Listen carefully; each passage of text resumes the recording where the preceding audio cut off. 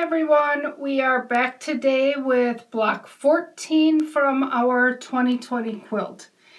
And again, today's block we're going to be working with that um, cat's cradle block. So it's going to be constructed exactly the same as we did last time, except this time our square is going to be a half square triangle. So the last time we made it, I'm just going to cover this up, we had a large triangle, two small triangles, and then this corner was a solid square. And this time we're going to make a half square triangle to set these two little squares together. So it's a little difficult to see because it's all the same color. And we also want to make this one, this block over here is also the same, but our large square is an opposite color, and then our half square triangle is um, my dark red and bright red versus the bright red and the white. Okay, so for this block, again, we're going to need to cut those 5 inch squares and we're going to cut them in half to make our two triangles for our, our large corners. And then we needed four, for these here setting corners, we needed four 3 inch squares that we cut in half diagonally. And I also need this time uh, an extra, two extra three inch squares and a black square and a red square so that I can make my half square triangles from these squares. So when you cut whatever color you choose for this, you're going to cut six of them total. Four of them will get cut up into your small triangles and the other two you're going to match up with your colored um, three inch squares to make your half square triangles. So once your half square triangles are made, you're going to assemble them exactly the same as we did the last time by putting that uh, tip of your triangle into that corner and then matching the second one on this side. So you're going to be creating that secondary triangle. You always want to make sure on this block that if your my gray pieces are always against the gray half of my half square triangle. So whatever color you make these, they always have to complete in a row. I don't want to put together with the opposite colors. So I'm going to go over to my machine it's kind of pretty, you could do that, but we're not doing it for this block. So I'm going to go over to my machine, I'm going to get all of my half square triangles made, and I'm going to add my um, smaller triangles onto those. Okay, so I have my half square triangles made, my red ones and my black ones. And uh, remember when you're squaring up your half square triangles to use that 45 degree diagonal line on your seam to make sure that you keep them nice and uh, straight and even on both sides. So now I need to add my two triangles and because my triangles are with the gray fabric I want to make sure I add them to the gray side of my half square triangle. So again I'm going to place this corner tip of my triangle at the where the two colors of my half square triangles meet and This time I'm going to actually keep my triangle on top. Sometimes I find if I try to, to start with the seam, again it can be a little bit thick and it may not want to pull in. So this time I'm going to start with my triangle fabric on top.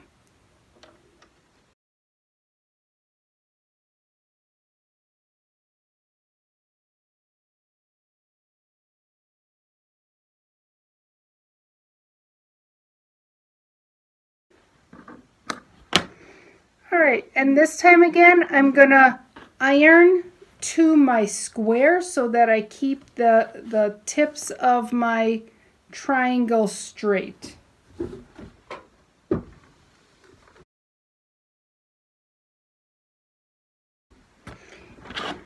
right, and now I just need to repeat that on the opposite side.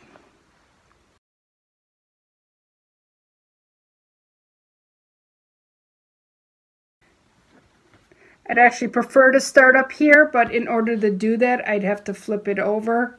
And then I can't see as well to make sure everything's not moving.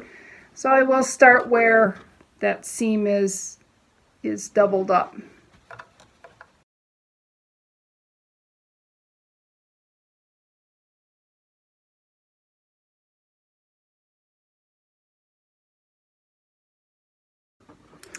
All right, so now I can iron and then we'll go back to the cutting table. All right, so now that I have my the bottom half of my cat's cradle, um, I do need to trim these up again. So I'm going to use the same method where I use that 45 degree line along the edge of my triangle.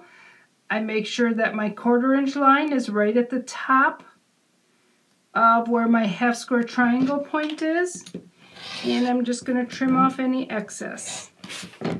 Okay, so this one, because they're all the same color, it's probably a little difficult for you to see them, but the top of my half square triangle was right there, and this is giving me my quarter inch seam allowance. So I'm just going to trim all of these up.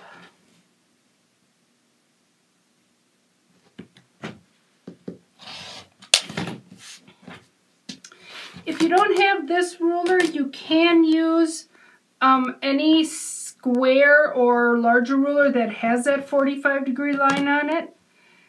Um, this one, I might try to turn this way because it gives me a, better quarter inch mark. So again, I'm going to line up my 45 and make sure that, and this one actually, my 3 is right where I want that tip or that uh, quarter inch mark to be. So I can actually look at following my number 3 line all the way down to my corner and my 45 here. Um, the only issue with this one is my ruler is just a smidge smaller than my block. So I wouldn't want to have a block any bigger than this one. Um, yeah, a lot of you have bigger rulers like this, which again, as long as they have a 45 mark on them somewhere, so on this one, it's up here.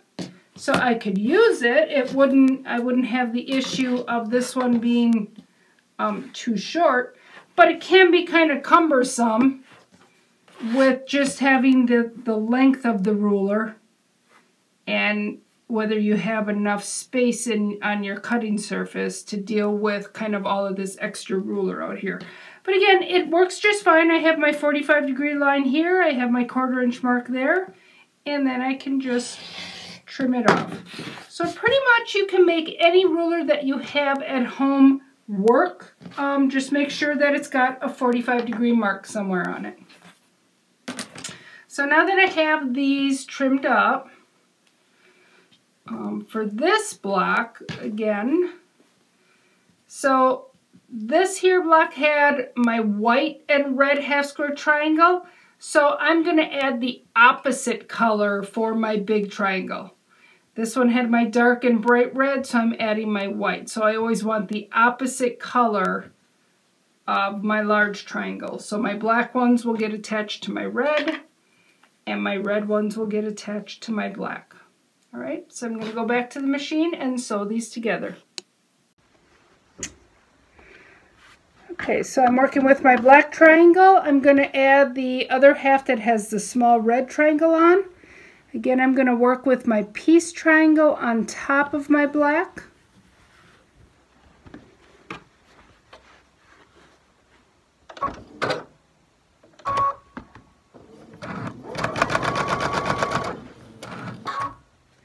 And I'm going to be aiming for the intersection to get that top of that half square triangle nice, nice and close to the point.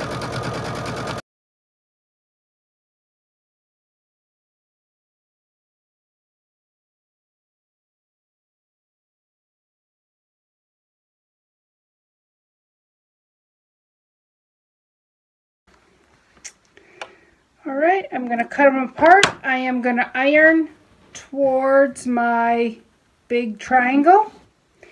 And then we'll go back to the cutting table. We'll square these up and I'll show you how to lay out the block. So for this block, we're making kind of this spool shape to it. So I wanted my, my black actually to be the color for my spool. So I'm going to start by having my two large triangles pointing kind of at each other. And then I'm going to put the small triangle of the same color towards the center. So that's going to give me my spool shape with my gray background and then my red corners. Okay. I could change it. I could flip my red ones to the middle and flip this one to the middle. So you really have two color choices. Um, you know, I just thought, because I already had a red one here, I figured I'd put the black to the middle. But even after you have your blocks all made, you can play around with um, the different, your two color choices as to which one you like better. And again, once you've made your decision, you're going to sew two, these two together, sew these two together, and then sew one seam down the middle. I think I'm going to go back to my black one. And I'm going to go the machine, sew them together, and I will have a photo of the finished block um, in the photo gallery with the instructions for this block. So, hope you have fun. Bye!